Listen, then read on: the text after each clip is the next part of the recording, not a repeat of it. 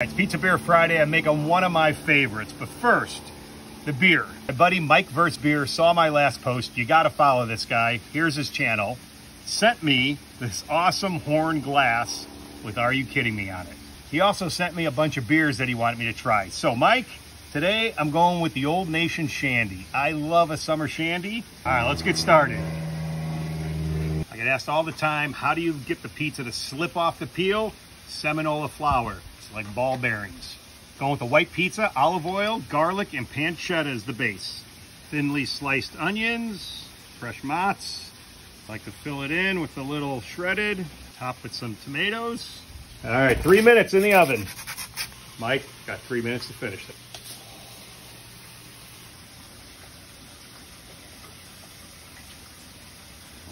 Cheers, Mike. Prost and whatever the hell you say. Some fresh basil, some Parmesan cheese.